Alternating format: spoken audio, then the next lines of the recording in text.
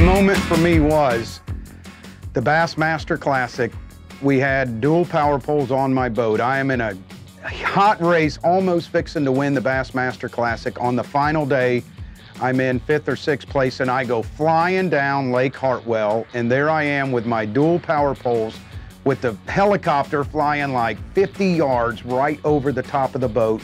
It was a moment that I'll never forget. It was an awesome experience. I actually uh, caught him pretty good that day. I ended up third in that classic, but that's a moment for me that I'll never forget. I've been with Power Pole since the very beginning, but it was that one moment that the helicopter flew over that boat. I'm giving it a high five. I'm up in the air, and it's something that I'll treasure forever. And it's really is what's boosted my career to be a professional bass fisherman.